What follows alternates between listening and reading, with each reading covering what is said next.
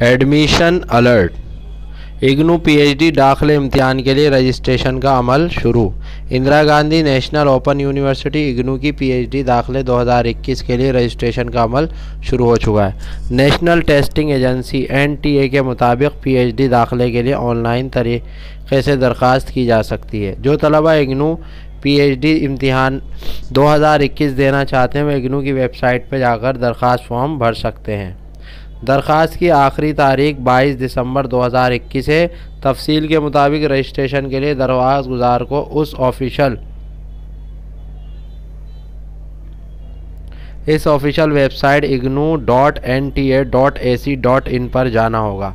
उसके बाद यहाँ इग्नू पीएचडी के रजिस्ट्रेशन, लॉगिन पर क्लिक करें, रजिस्ट्रेशन करना होगा। उसके बाद दरकार मालूम भर कर फराम फॉर्म सबमिट करना होगा।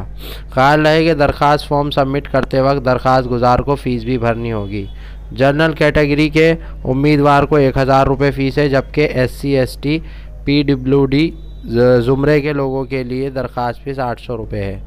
Fees credit card, debit card या फिर net banking U P I के ज़रिए की जा सकती है।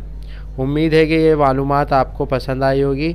अगर वीडियो पसंद आ गई तो लाइक करिए, शेयर करिए, कमेंट करिए, सब्सक्राइब करिए और लोगों में शेयर करिए। शुक्रिया।